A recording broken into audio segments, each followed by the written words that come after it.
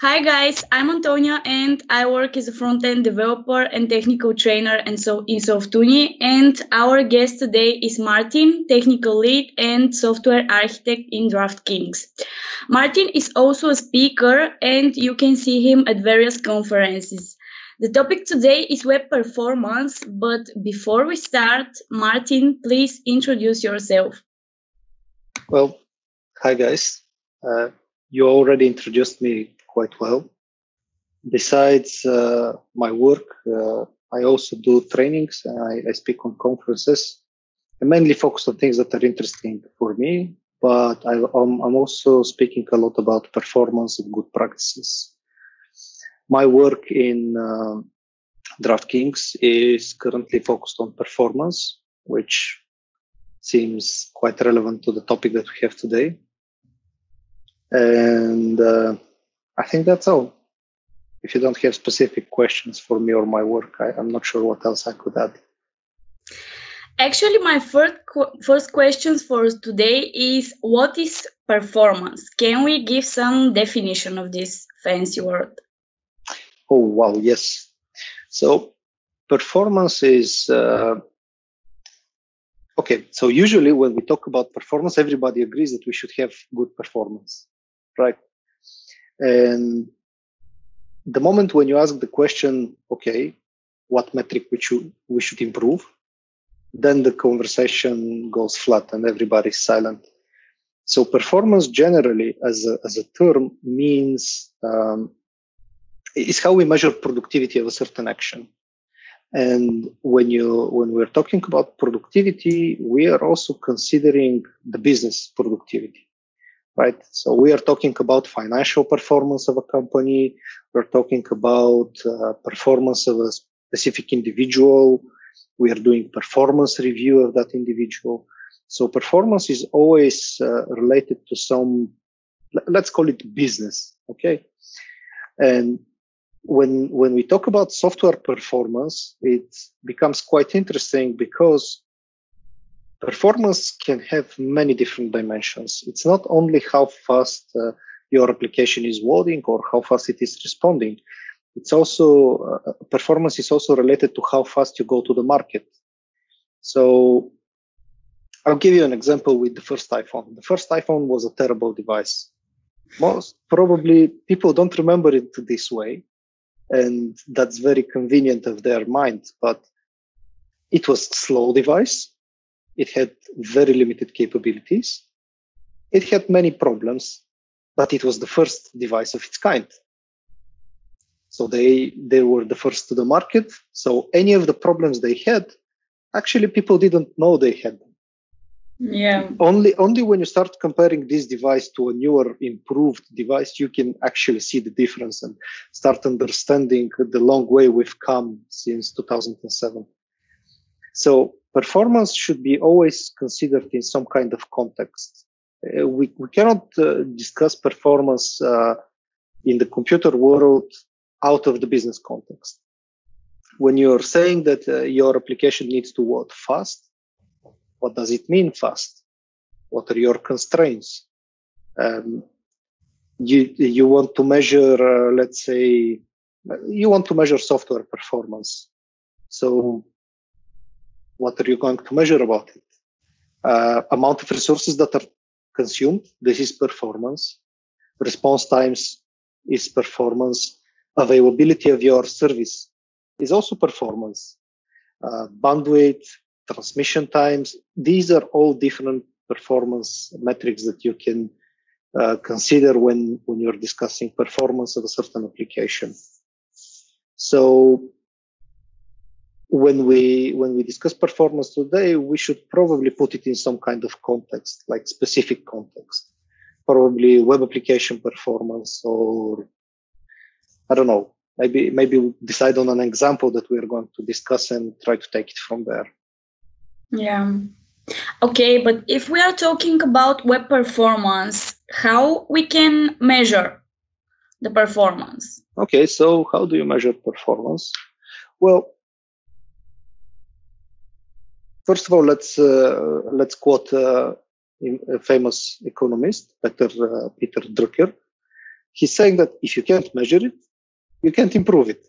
Sounds nice, right? because first of all, you need to know where you are. Then you need to know where you need to go.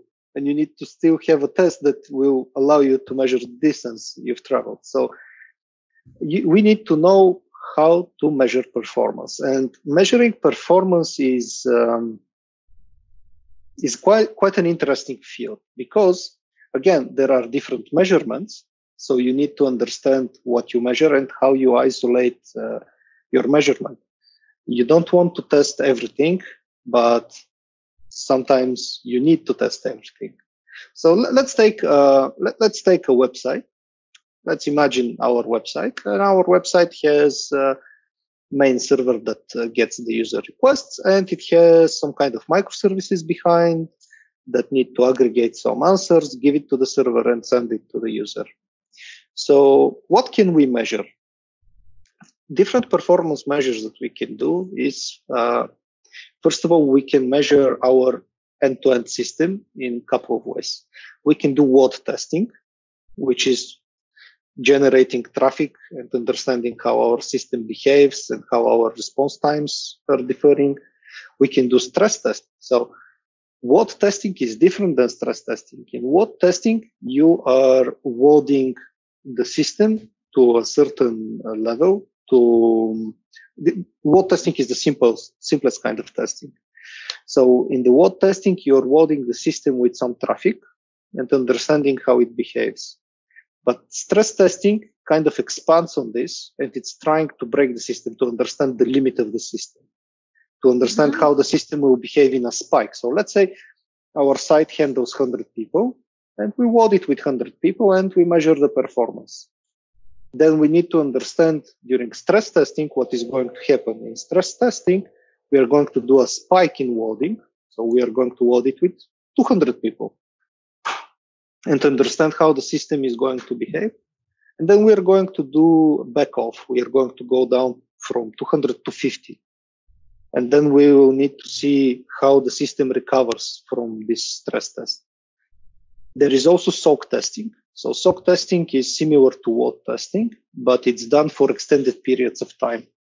So for example, load testing you can do for one hour. Soak testing you're going to do for 24 hours and you're going to do it with the same load. You're going to pick, let's say we want, we measure that our site handles 100 people. So we are going to put 100 bots bombarding the website for 24 hours and get the measurements.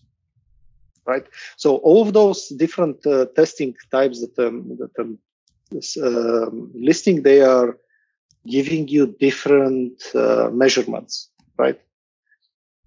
Uh, so you're going to get measurements for the same metrics, but they're going to be different based on the type of testing that you but you need to somehow simulate this load on the system to understand how it will react to real people. There's also uh, breakpoint testing where you actually break the system. You, it's uh, you need to know how the system is going to fail when you break it. So you will. But how it breaks it? Um, depends depends on the software. Mm. let's say let's say you're going to load the system in a way that uh, your login is going to stop responding. So the microservice that is responsible for the user login is going to break. Mm-hmm. so you need to know how you're going to recover from this and you need to know that your recovery mechanism is working. So this is also performance testing. Um, there's also testing in isolation and testing in isolation is important when you're defining uh, SLAs, service level agreements. So let's say in my uh, in my system, I want all the microservices to respond within 50 milliseconds. Now let's say I have 10 microservices and all of them are needed for my response. This can be if if I query them at the same time, it's probably ideal conditions, but usually there are some sequential calls. So if all the microservices are responding in 50 milliseconds, let's say, your main server is probably responding in half a second. But all of them tested in isolation, yeah. they're fine. They're responding within the SLA. So isolation testing is important, and uh, testing components in isolation can give you insight on how the the component itself is behaving. But you also need to test the system as a whole and provide SLA of the system as a whole. So let's say you defined first step is by the way to define the rules. Let's say all the microservices should respond within 50 milliseconds. But then we can see that we have some problems with this SLA and maybe we can segregate them into different categories. So let's say login microservice should respond in 10 milliseconds, not 50, and so on. So generally, to do measurements, you need to do you need to follow some basic rules. You need to identify the environment. So you need to identify the acceptance criteria. So what is it? Uh, 50 milliseconds, okay? Is it not? Is it 10? Is it three seconds? Then you need to plan ahead, design the tests, and implement them. And while I'm saying design and implement the tests, you should treat the tests like uh, like your product. So you, there are many tools out there that can help you test or can give you a starting point, but nobody understands your system as well as you understand it. And generic solutions are good for the like 80% of the problems but for the rest, uh, the, the small 20% that will take you most of the time uh, to figure out the generic solutions are probably not going to help you. So after you execute your tests, analyze the data, lather, rinse, repeat. Um, I think that's about it about measurement. You need to set up your environment in order to measure. Yeah. Okay, but uh, which set of metrics should we look to track our performance? How so, do we know how many seconds should we wait for something to load? Well, you don't. Your business will tell you. Mm-hmm. Let's say on the market, uh, you're comparing website A versus website B. Website B is faster than you. So you need to be at least uh, you, you need to provide at least the same performance as they do. Otherwise, your customers might start switching off because your platform is slow. Let's compare um, Revolut to an existing bank, let's say. Now, most of the banks caught up to this, but Revolut is giving you instantly your funds, immediate transactions. Well, how can you compare a bank yeah. that, that you, you need to uh, issue the um, uh, I forgot how it's called. The blank you need to issue, right? Yeah, yeah. You need to post it, then you need to get an SMS uh, code to sign. Then it will wait. take yeah 24 hours. And with Revolut, you're just doing biometric scan, and the money are there. That's it. Yeah. So this is you, you, see what i mean? What before we had something like revolut that is doing this the system was okay. I could transfer funds from my pc yeah it took half a day or one day but it was okay. Now i can do it instantly. So banks have some work to do to catch up. And the market and the business are actually setting the rules. If you want to to go to the market you need to uh, you need to have a unique differentiator. The key difference between your product and the other product. Would i use revolut if uh, let's say it's the same as my bank? No no reason. So you need to provide something that will get people to you. And currently with them it was the performance of the transactions. They were do- they were doing transactions very fast. Yeah and the difference is big. Yep quite big. This is how this is how you get market share from the biggest entities in the world, the banks. Yeah. And you become a new bank. But what metrics? So uh, I'm tempted to just list a couple of metrics and but I think I'm better than that. so metrics like the browser metrics, time to first byte, window load, yada yada yada. Those are those are peanuts. Those are for children. This is this is how you see like two percent of the picture, and that's it. when you when you measure the uh, the system performance, uh, you need to understand. You need to measure a couple of different big things. Okay, and time to first byte, window load, yada yada yada. Those are side effects of the big picture. You need to measure your system availability, for example. Okay, so let's say our website A, the magical website, what's in five seconds. And you see it in lighthouse or whatever. Good. Now what is actually slow? Time to first byte was uh, half a second. The server is slow. Well i have uh, the server that the user hit and 100 microservices. So what is exactly slow when you do availability testing when you measure your system availability then you can start understanding which services are the reason for this uh, long time first byte.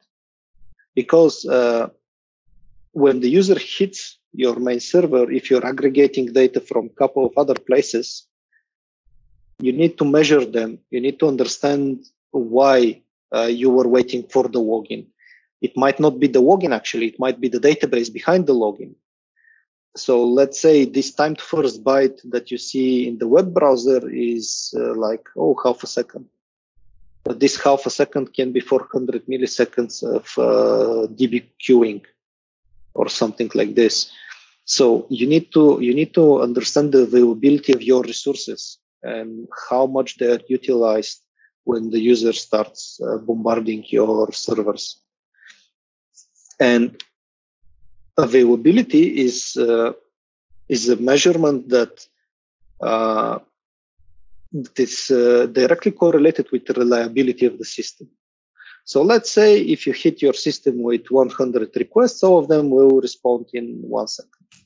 If you hit it with 1000, there will be some degradation. The first 100 will respond in one second, but then as the system gets overloaded, they will start queuing, they will start responding in one and a half, two, three, five, ten seconds. So this means that your the availability of your system is degrading. So you need to you need to address this. Maybe you need to change the way the microservices are communicating, or um, you need to increase the resources, uh, the, the, CPU of the machines, for example, or the RAM. Maybe you should change your communication model from uh, pull to push. You know th- there are many things that you can do on the back end to yeah. improve time to first byte because time to first byte is the most important metric of them all. This is where you can do the biggest difference in your system.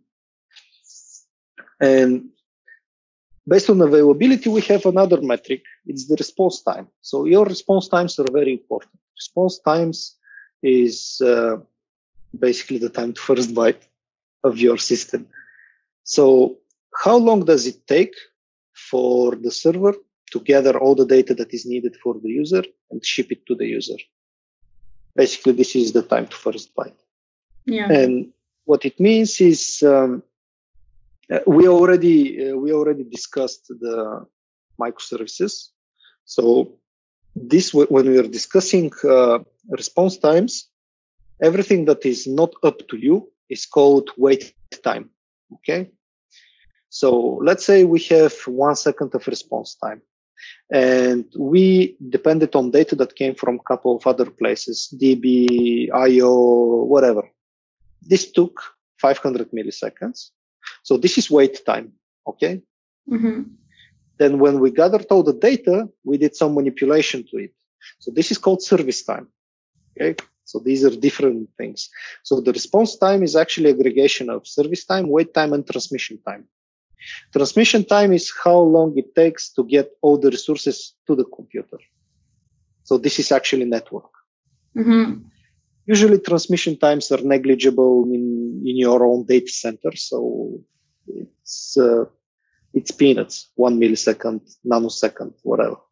But service time is interesting. Service time is where you actually process the data, structure the response, uh, render the response if you do server side rendering and so on. And this is where you can actually do improvement. This is where you do optimization of the code. This is uh, This is where you try to parallelize, do caching. Let's say all the not logged in users maybe get the same response. So just render it once, cache it, invalidate it every 10 seconds or so. So this is something that you can do in terms of uh, measuring response times and addressing problems with response times. Uh, besides that, there are a couple of measurements uh, that you can do which are which you cannot directly influence, but they can help you help you improve your system. So let's say channel capacity. Channel capacity is uh, something that you don't have control on. You have 1 million users. Well, there is a big chance you have 1 million different channel capacities. Channel capacity in terms of uh, the web, this is uh, your data link. This is how much data can be transferred safely over your data link. Mm-hmm. Think about it this way. Uh, channel capacity, let's take an HDMI cable, for example, cable, okay?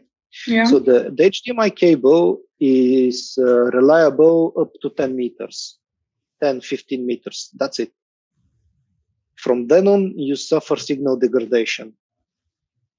So this is something that if you're doing, if you're planning out your home and to put cables around, you need to think about it. You will need something to strengthen the signal or you will need to move uh, the device that is streaming closer to the device that is projecting.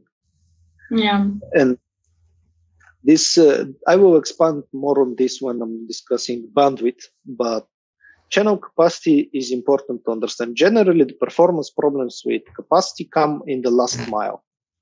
So last mile is a term. This is basically um, it's the user connection to the local ISP. Because generally between ISPs, between countries, you have those wide bandwidth channels that are transferring terabytes of data and so on with this almost the speed of light. But the last mile, the, the guy with the stupid cable, which is uh, between the two, between the two blocks, this is generally yeah. problem with the, with the channel capacity, the last mile as it, as it's called. So you need to understand uh, what is your channel capacity. For example, let's say you're moving on a mobile channel. The 3G channel has a capacity. The 4G channel has capacity. The 5G channel has capacity. You understand that you, you need to understand your audience. Where is it? Is it located in countries with poor mobile reception or with good one? And depending on that, you need to you need to shape your product uh, to use uh, the data efficiently. Another metric that you need to uh, measure and understand is latency. And latency can have a couple of different aspects. Uh, one of the aspects of latency we're going to discuss uh, for perceived performance, I guess. But latency generally is um, the time between cause and effect. I clicked, some latency happened, the button was actually clicked and I received the result.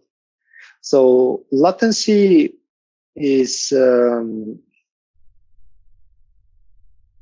latency can be solved in many many different ways, but the most efficient ones are usually done in the user experience department.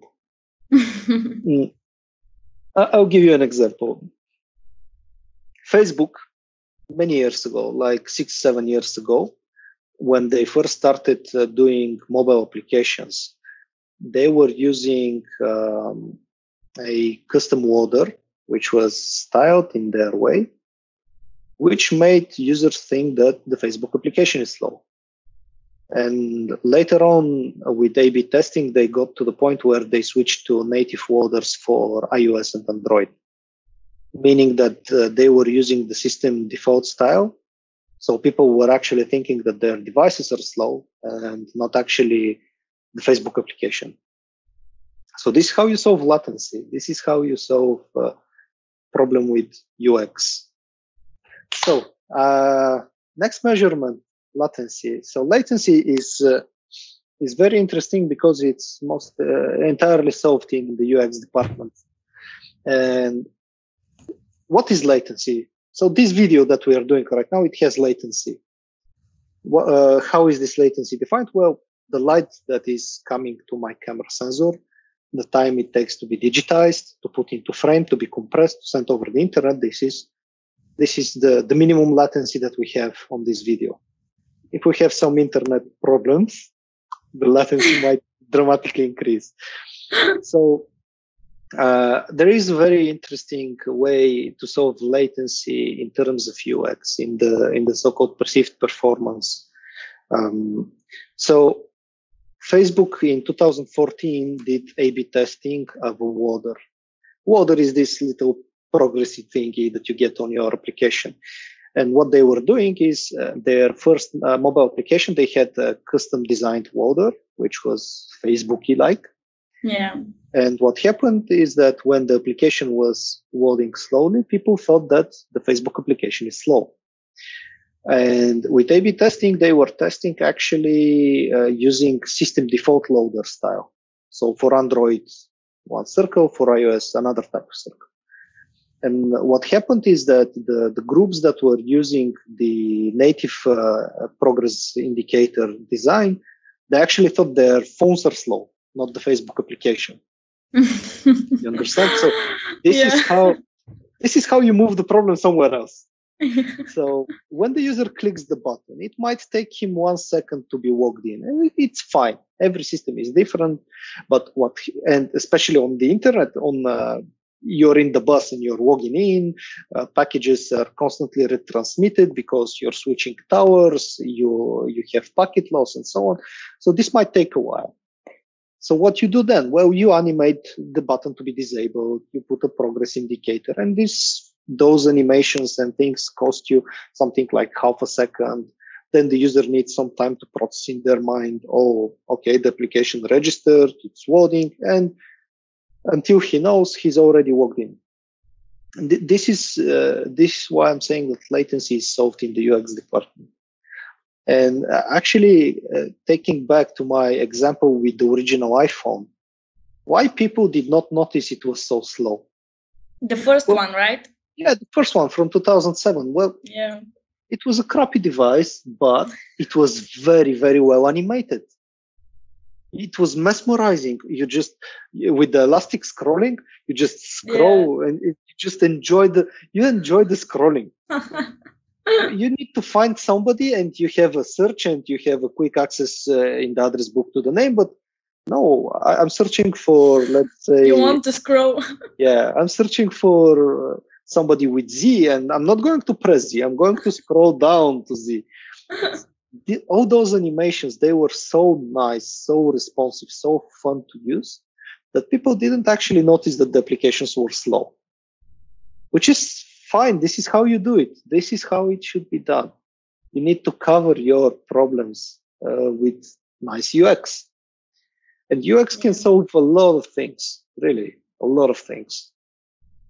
The next measurement that you need to understand and take is uh, the bandwidth your application is using. So bandwidth, think about this as uh, kilobytes per second, or if you are a bad uh, bad guy, megabytes a second. so for a web application, obviously we need to be to the lowest possible. Bandwidth is uh, uh, is entirely not up to your control, and this is a pain that I've had in different countries. Uh, let's say in the UK, they have terrible internet. Terrible. Like, it's like, uh, it, feels like the 90s. it, it, it, has this dial up feel to it. It's broadband, but it feels like dial up. And uh, when you are optimizing a web application for this kind of uh, network, you need to understand how bandwidth works, how the network layer works, and uh, how to get things closer to the user. So, for example, the easiest thing that you can do to solve problems with bandwidth is use CDN. Move all your resources closer to the user, right? Yeah. If they're closer to the user, they are going to be downloaded faster. But this is uh, this is just the the quick fix, which is not really fixing the, the thing. If uh, if you need to load two megabytes of data, Even if you move it to a CDN, it's still two megabytes of data. So you need to understand if you can cut that to make it one megabyte, half megabyte of data. Uh, maybe you can proactively download on the background the, the, the data that you're not using immediately toward uh, the homepage, let's say. And this is uh, this is important optimization. Uh, we are we here in Bulgaria specifically we've been spoiled by good internet for a very very long time. Gigabit connection to the home it, it costs peanuts, yeah. nothing. I'm paying uh, I don't know uh, like 15 euro or something like this for a fiber optic uh, connection to my home, which is whatever. and uh, by by getting faster and faster internet and wider and wider bandwidth in some places, we can actually start neglecting places where there is no such thing. And if you have users which are not in Eastern Europe or Europe in general, or the states where internet is mostly okay, there are many other countries where you will not be getting revenue from because uh, people cannot access your software. For them, downloading two megabytes is hours, and that's their reality. You need to you need to understand how how you can approach that and sometimes it's hard. Sometimes it means uh, making decisions which are uh, like splitting the software developing one set of software for places with uh, low bandwidth and developing another for places with high bandwidth. Um, in the web application that's actually quite easy to do. Uh, the modern javascript tools provide you abilities which uh, which were unthinkable a couple of years ago. Splitting into chunks uh, bundling making your assets uh, dynamically loaded on the background. This is something that uh, that can help a lot. So just by using the modern tool set it's going to be quite easy for you to to achieve better uh, performance on the bandwidth. So when I'm saying bandwidth, well, bandwidth is directly affecting your document uh, DOMContentLoaded and your window load, your uh, first content pane, first contentful paint, and so on. So this is so response times, which is time to first byte, and bandwidth are the measurements that are uh, directly affecting your application uh, in the web browser. So when you see in Google Chrome performance. When you see TTFB, this is your response times. And when you look at uh, first content pane and so on and so on, window load, those are all affected by the bandwidth that your application needs in order to download all the data that it's needed to bootstrap itself. Obviously, there are other things. So when we're talking about the web browser, JavaScript execution time is something that you need to take care of and measure. And also you need to understand that CSS takes time to render. I know it sounds strange, but CSS is something uh, terrible. So from performance point of view, when you show the browser some CSS, the browser freezes and creates or updates uh, CSS object model. So it's tree, uh, creates a tree. Then uh, it does intersection with the DOM tree. And only then it continues executing JavaScript. So every time you show the browser some CSS, it will actually stop processing JavaScript. This is the funny part of it. Why? Because CSS may change DOM properties. And why? Because JavaScript may use those DOM properties yeah. to execute. So, uh, little pro tip: put all of the CSS in the head, put all of the JavaScript at the bottom. Mm-hmm. Because if you think about it, what I just said means that if you have script CSS, script CSS, script CSS, it means that it will execute the script, then it will stop doing anything, process the, the CSS, apply to the DOM, then continue executing the script. And it sounds minuscule, but when you have this repeated time over time over time, it will actually, it can actually be in the range of half a second delay. Depends on yeah. the amount of JavaScript. So your advice that so your advice is that we should execute the CSS first and after that the other content. Yeah, put all the CSS on the top. This is uh, important actually. The browsers will like it. um, so other things, other measurements that you can do which are related to the web and to the browser itself, this is um, there is uh, something that is called layout shift, and this is important important metric. Because uh, it will be too memory consuming for the browser to keep an updatable version of the image that you see on the screen what is happening is that every time the browser needs to render a frame, it actually takes DOM, CSS OM, applies, and does something that's called layouting. Then there is rasterization, and then it puts the pixels on the screen.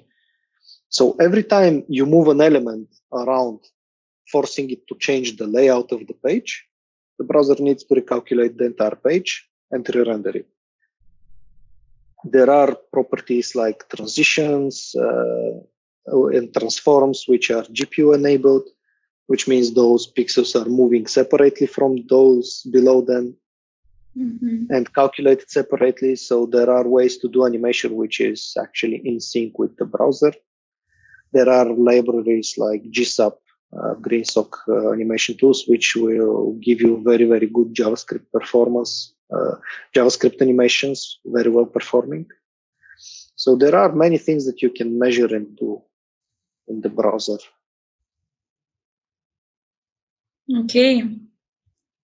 So you mentioned uh, perceived performance. Can you tell what is the difference between performance and perceived performance? Yep. Well, that's actually quite easy. One is the real picture. The other one is based on the user's feelings. So this is the difference. And if the user feels that your crappy 2007 iPhone is fine, so it's fine, and they will buy regardless mm-hmm. of the real picture. So if you think about it, uh, I, I, I mentioned this a couple of times for the latency. So if you make your application responding to the user input so wh- when I said what is latency, latency is the difference between cause and effect, right? So when you touch the button, if the if you wait for one second and then suddenly the user is logged in, the user thinks your application froze. Yeah. Because nothing else happened. But when you tap, if you animate the button to disable, to put circle inside and so on, the application looks like it's responding to the user actions and that it's it's giving them constant feedback that something is happening while in reality probably something is not happening? yeah but the user will wait. Nothing is happening really because you send the request and the server hasn't responded.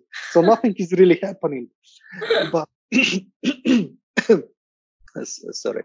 So nothing is really happening but uh, you feel like the application is responding to you. Uh, think about this uh, like a first person shooter game right? You're not actually shooting a gun and the animation of shooting a gun is totally unrelated like you can completely remove all the animation of the shooting gun and if you if you point it and click you will do some damage on the other side but the animation itself is done so you could feel like you're shooting to them. Yeah.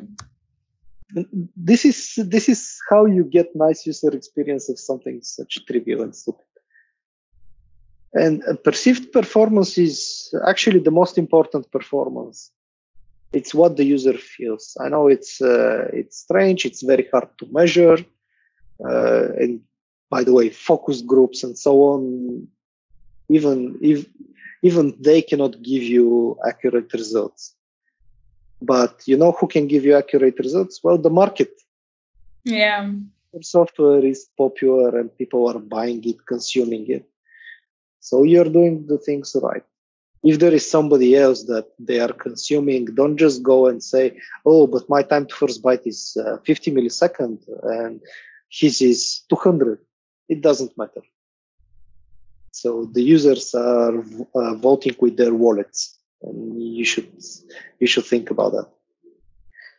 Um, I'm thinking about if I can add something else to perceived performance, but I think that's quite about it. It's user centric.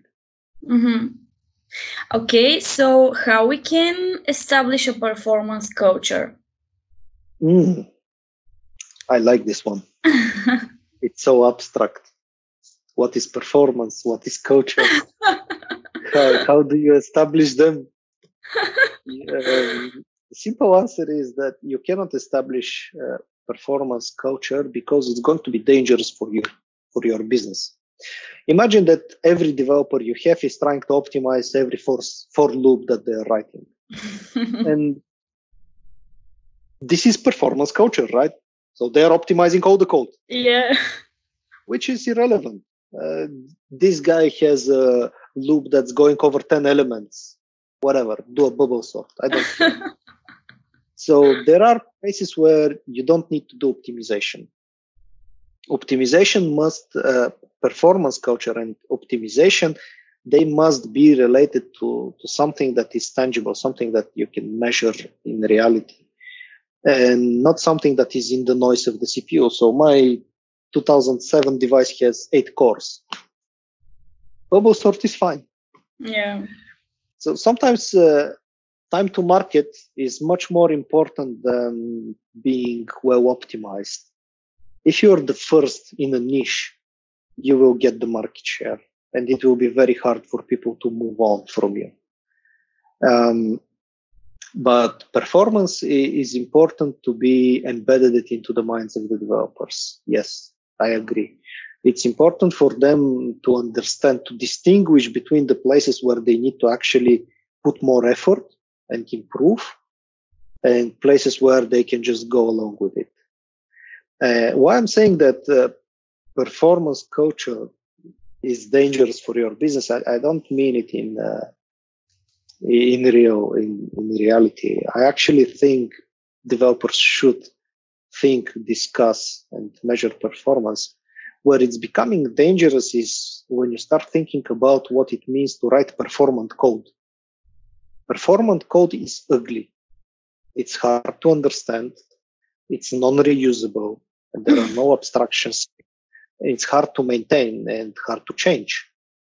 So highly performant code is very, very specific. And you can go uh, as far as uh, optimizing for things that are, um, let's say, loop tiling. You know what is loop tiling? It's no. when you, it's, uh, let's say you have a very big matrix matrix of many uh, imagine an image mm-hmm. okay? And you need to loop through all the pixels. Okay. Loop tiling is uh, means that you're not looping like 1 2 3 4 5 6 7 8 9 10, 10, 10, it means that you're getting square square square. And when i'm saying square it means like uh, let's say 5 5 to 5 yeah. So you're processing it in squares. The groups. And yes, in groups of pixels. And loop tiling is going to give you better performance, surprisingly, than actually moving through all the elements one by one. Why? Well, because there are leaky abstractions on the lower levels of the system. But basically, how process, uh, process uh, CPUs, caches work, how memory access work, and so on. And these are things that you can optimize, but do you need to? Do you need to do loop tiling for 300 by 300 image? Probably not. Depends. The, the only correct answer is it depends. But as I said, performant code is ugly, very ugly, and very hard to refactor. And it's very hard to add additional features and business logic to it. So you need to find the right balance between performant code and code that is actually working, code that you can maintain, code that you can give to the junior to improve or to to extend. And this is much more important for a business than actually having the perfect, perfectly optimized software. And by the way, these optimizations, if you you can go down the rabbit hole, meaning that you can be you can easily go in a situation where you start optimizing for CPU, but uh, you start consuming too much RAM or vice versa. Or you can become, you can go in a situation where you're using very little amount of storage, like RAM and uh, hard drive, let's say, but then you're using a lot of battery because you're killing the CPU for doing work that can be transferred as a file. I'll give you an example. I I was doing a uh, I was doing a I'm going to call it a library, but it's actually a function that is uh, calculating permutations and combinations. And it was tempting to use uh, a formula to calculate the amount of cells that I will need every time. Problem with that formula is that it's recursive. And what I did is actually I pre-calculated a lot of the values and I hard coded them as an object. Mm-hmm. This improved the speed of my execution immensely. And this, this is something that uh, if you have the formula, it seems counterintuitive to hard code the results. But it's actually doing a good performance improvement. Yeah. And again, this needs to be proven. You cannot say, ah, this is faster because it's written in this way. No, you need to be able to prove that. And it's very hard to prove performance, even when you are, even when you do comparisons. Let's say, let's say you get uh, the browser and you write two different JavaScript files. You run them in the browser and you try to uh, get the result, uh, get the, the time that it took yeah, to do the, the action. The problem with writing such an isolated test is that all the engines, all the JavaScript engines are going to optimize your code for you. So you wrote yeah. different variations of the for loop. In the first iteration, the browser is going to see that, oh, this result is not used anywhere. It will reduce the for loop. It will see that the result of the body is not used. It will remove the body. It will see that the for loop is actually looping over nothing. And by the third or fourth iteration of the loop, the browser will actually optimize the code in a way that this, this code is going to be completely removed. So this is, this is something that uh, it's very, very hard to test and prove in isolation. And I yeah, see many, how we can prevent yeah. that. Aha. Uh-huh. Yes, I see many developers that are falling in this trap with tools like JSPerf, for example. They put two different uh, two different pieces of code and they compare them. Uh, you cannot avoid that.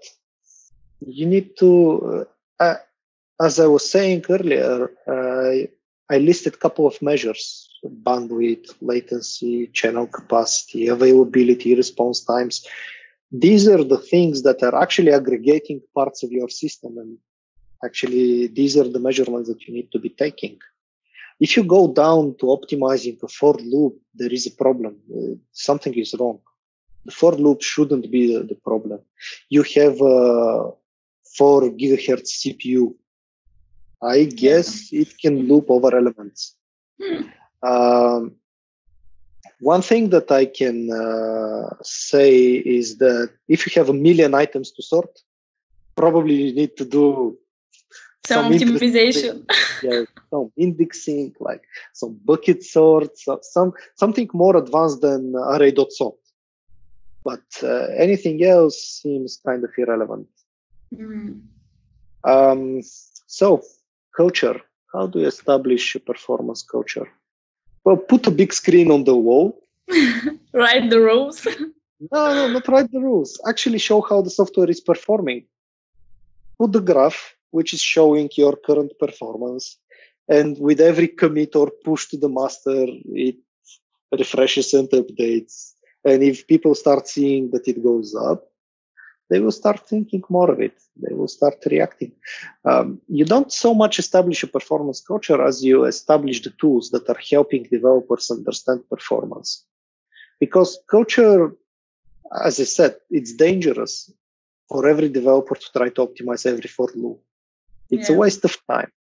But if you show them that after their commit, the application had regression, time to first byte became from 100 milliseconds to 100 milliseconds. This is obviously a bug, should be investigated. so th- this is how you do it. You you you establish good tools.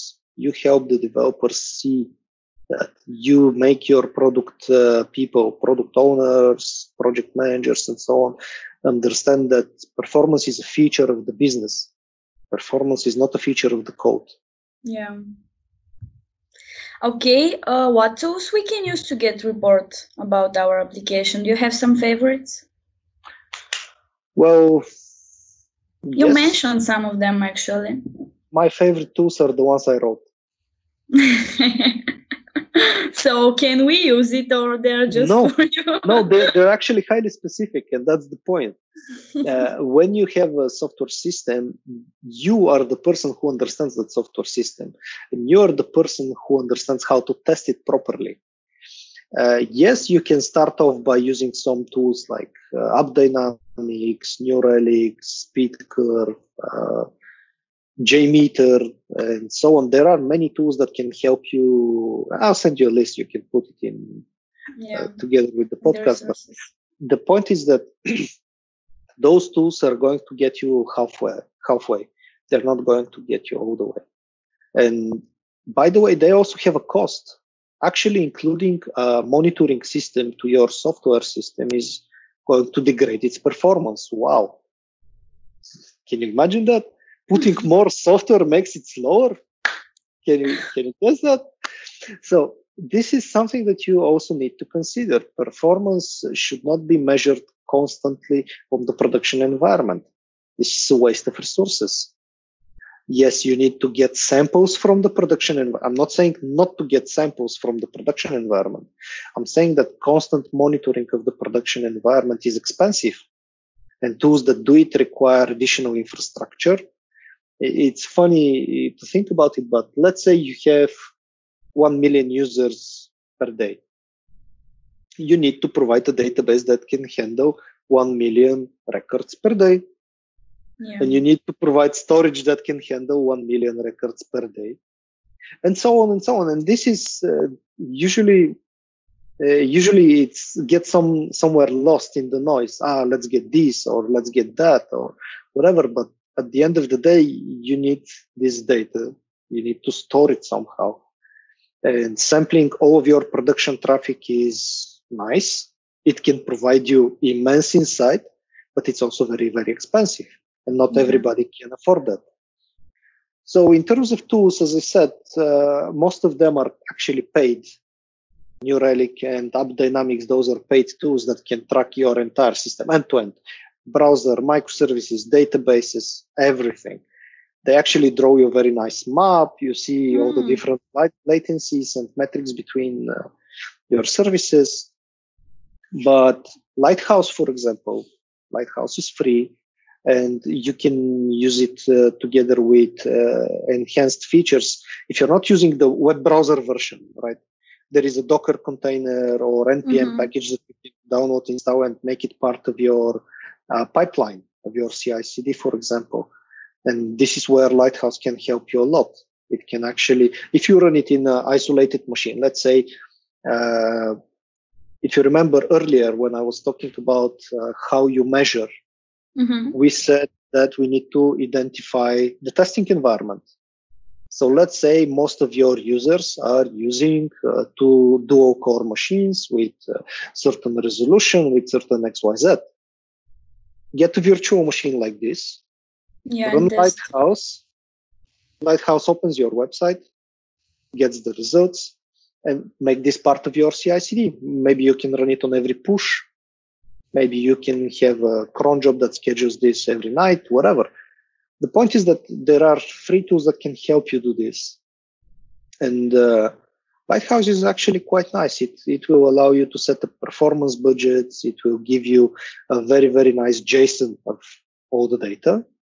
uh, which you can decide how to process afterwards. Maybe Yeah. one thing, maybe you, you use all of them. So uh, another good one is SpeedCurve, but SpeedCurve is more for production and it's also paid one. All the nice things in life are paid. Okay, all the all the nice performance tools. but Lighthouse is not. So this But is Lighthouse- important here. Yeah. Okay. Uh, Netflix tweeted that they had removed client-side React.js from their landing page and they saw a 50 percentage performance improvement. Is this a commonly used practice and what do you think about this case? So that's actually they actually published a case study besides the tweet, and I've read it. And they, uh, as far as I remember, they they recorded 50% improvement, but uh, in specific metrics. So I'm trying to understand what was uh, what were the metrics. I think it was uh, time. Mhm. I think it's like window load. This is the metric that they actually improved, and uh, and also time to interactive. So they improved load time and time to interactive, which is quite nice. And removing React, well, it's quite a big library, and probably they removed Yeah. other libraries as well. And uh, but this is, you know, you need to balance the equation. Like removing from one place if you need the same functionality that this is this thing is providing, you either need to write it yourself Yeah. in a more efficient way, because if you're just uh, repeating React, uh, it doesn't help you a lot. So what they do is they actually do server-side rendering. Uh, they do server-side rendering of this, and um, uh, their homepage is quite dynamic, by the way. It's sort of different languages, dynamic content, and so on.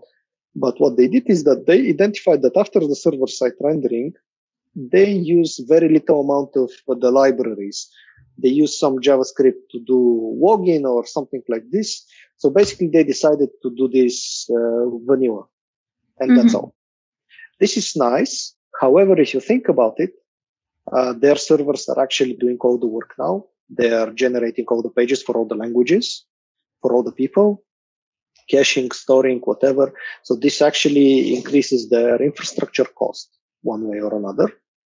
It also increases their maintenance cost for this page specifically because it's not built on the same framework as the other pages. And this page is, uh, uh, after navigation, they still actually need to download the full React Live after login because Yeah. we're talking about not logged in homepage, but The that's one, landing only page, one yeah. page. It's only one page. uh, what, actually happens is they still need to download uh, React and all the other libraries they're using to actually make their software work a bit later. And uh, by the way, in the resources that I will provide, uh, I added a link to the case study. It's very interesting. yeah. But uh, so the Netflix uh, and other other guys are also writing. Uh, Instagram are writing a lot of case studies. Facebook are also publishing a lot. There are many things that one can read about performance there.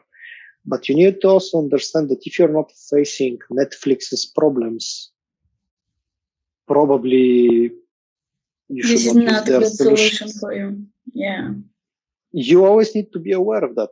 Yes, exactly. Because maybe they're saving bandwidth this way and they get better load time, but they also have more infrastructure on the back that is handling this. And if you cannot afford that, maybe you, you- again, with performance, it's always about cost effectiveness. Uh, it's always about things that the business can measure. Is it better for my users to get the page faster? Okay. How much does it cost to get the page faster? And let's meet somewhere halfway. So maybe uh, the Netflix guys can further increase this. Maybe they can halve it one more time. Is it going to be cost effective to do that? So performance is always an equation. It's not, uh, it's not like word in one second. Yeah. Okay, so what we are going to see happen in the next few years in terms of web performance? I have no idea. so, uh, well, predict the unpredictable. Oh, it's it's quite predictable, by the way. So this device, as I said, I have a Note 8. So this device is three years now, three years old now. It has uh, eight uh, eight cores and six gigabytes of RAM. And by the way, three years ago, this was a decent laptop. Actually, today it's a decent laptop. Most of the cheap laptops that you can buy are dual cores with four gigs of RAM. Yeah. And most of most of the phones that you buy today actually have more cores than that. And with 5G coming, well, 5G promises faster uh, speeds than uh, than Wi-Fi.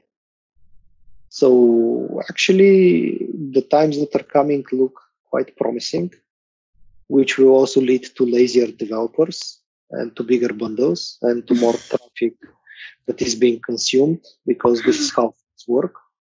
If you can make uh, little uh, again time to market as i said if you can with as little effort as possible to get to the market and start making money then you will invest in performance and other things. But we will probably see many new software applications coming up which are quite big quite heavy and they will get massive rewrites later on to improve their performance and so on but I, I, don't think that's bad. That's actually giving you giving uh, the ability to more people to experiment. However, I don't know how this is going to impact uh, developing countries, countries where bandwidth is expensive and slow. So I guess Europe and the States we are going we are in a in a privileged position in that regard because where, where else you're going to get 5G first? Europe, yeah. China, US. We are the the big, uh, let's say, countries that yeah. uh, that will benefit from this uh, almost immediately. But even today, when you go to rural areas in Bulgaria, you get very very poor reception, uh, even down to 2G. Even on the highway, go go to some other city on the highway. On the highway, you are going to start losing connectivity from time to time you're going to drop down to 2G. So we will always be in a situation where we need to make our software optimal. We need to optimize it constantly. And by the way, uh, bandwidth can be exhausted. I don't know uh, how much people understand network, but network is a finite resource. That, that's the reality. TCP does a lot of magic to give everybody some kind of network, but in reality, network is a finite resource. And with more streaming platforms that are moving to 4K, 8K video, bandwidth is going to become more expensive even in developed countries. Yeah.